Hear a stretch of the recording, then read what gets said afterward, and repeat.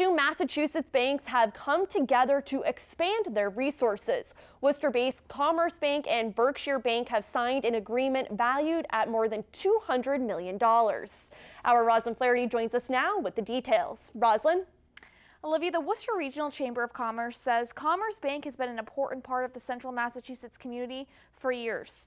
And the chairman of Commerce Bank says this merge will allow them to work on a bigger scale. Based Commerce Bank is about to get bigger. It's the message David Duddy Massad is sharing this week. Commerce Bank and Berkshire Bank have signed an agreement to become one. We'll be working at a bigger scale than what we had been at Commerce Bank. The transaction is valued at more than $200 million.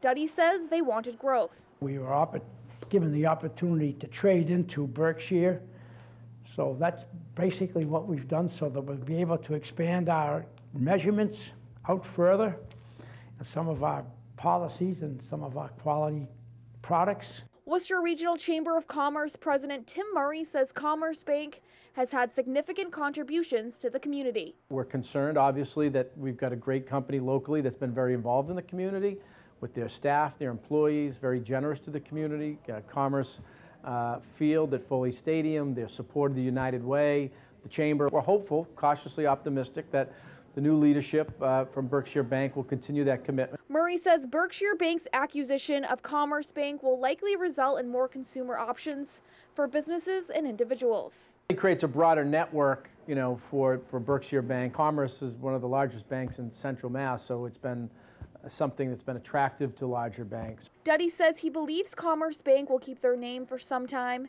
and they will be keeping all their policies the same. Except that we'll be able to expand some of the products that we don't have today uh, into, in, into our bank, which will give us uh, much better attraction to growth.